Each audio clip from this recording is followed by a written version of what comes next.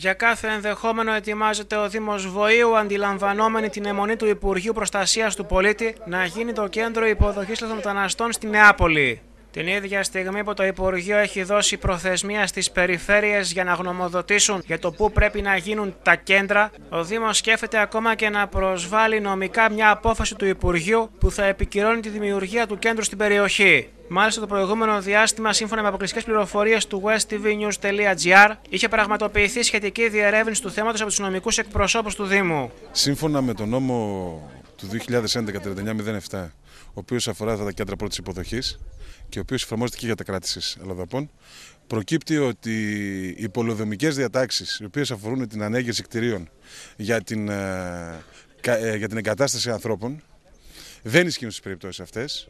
Ισχύουν πολύ μικρότερες προποθέσει από ό,τι ισχύει σε αντίστοιχη περίπτωση που πρέπει να χτιστεί ένα νοσοκομείο ή ένα αστυνομικό τμήμα.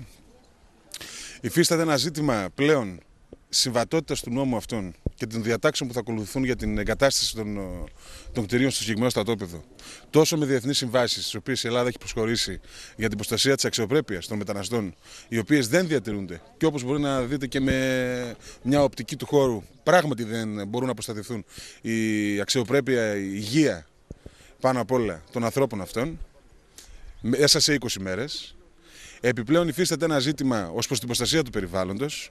Η συγκεκριμένη περιοχή, η οποία επιλέχθηκε, απέχει πολύ λίγα μέτρα από το τελευταίο σπίτι του οικισμού και γέννη από τον οικισμό.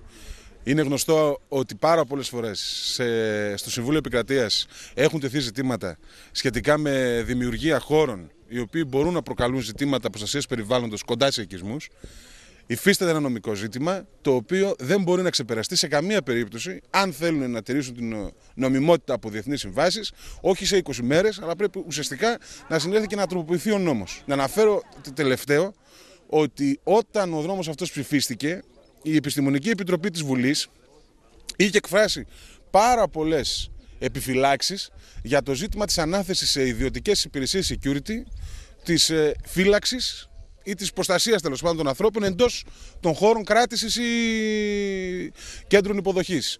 Διότι αποτελεί η φύλαξη α, άσκηση δημόσιας εξουσίας και δεν μπορεί να ανατηθεί σε ιδιώτες. Με πράξη νομοθετικού περιεχομένου.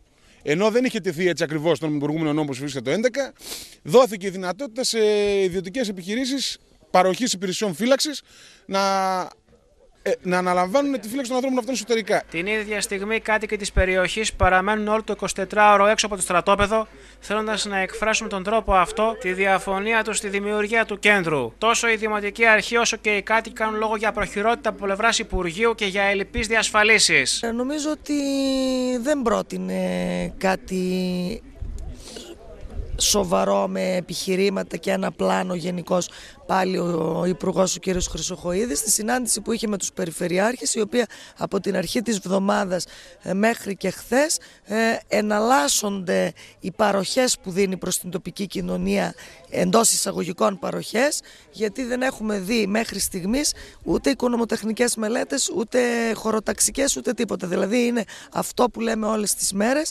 ένα σχέδιο το οποίο είναι αυτό που λέγεται Wembley παλιά όταν είχαμε πρόβλημα με τη Χούντα συζητούσαμε για ποδόσφαιρο για να μπορούμε να αποσπάμε την προσοχή του κόσμου. Άρα κάτι αντίστοιχο έγινε και εδώ, το μεγάλο οικονομικό πρόβλημα και το μνημόνιο και η Τρόικα ε, το οποίο θα, δεν θα μπορούσαν πιστεύω να πάνε προεκλογικά και σε εκλογές για τώρα που τις ε, τοποθετούν ή στις 29 ή στις 6 Μαΐου λέγοντας όμως μεταφέροντάς του τώρα στη λαθρομετανάστευση νομίζω ότι δίνουν ένα πάτημα το οποίο όμως και αυτό θα γυρίσει μπούμεραγκ Κοίταξε να δεις, αυτό το πράγμα είναι ένας όρος ο οποίος πρέπει να τον κοιτάξουμε κατάματα.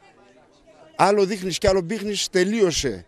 Δεν καταλαβαίνει ο κόσμος εύκολα από αυτά τα πράγματα. Ο κόσμος θέλει να πούμε διαφάνεια, θετικότητα και αποφασιστικότητα και να γίνονται όλα σωστά. Συνέχεια πολλές φορές ε, είπαμε ψέματα και δεν γίνονται.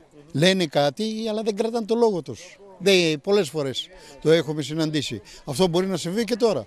Οι κάτοικοι είναι αποφασισμένοι να παραμείνουν στο χώρο και να εμποδίσουν τις εργασίες τη δημιουργία του κέντρου, ακόμα και αν υπάρξει τελεσίδικη απόφαση από πλευράς Υπουργείου.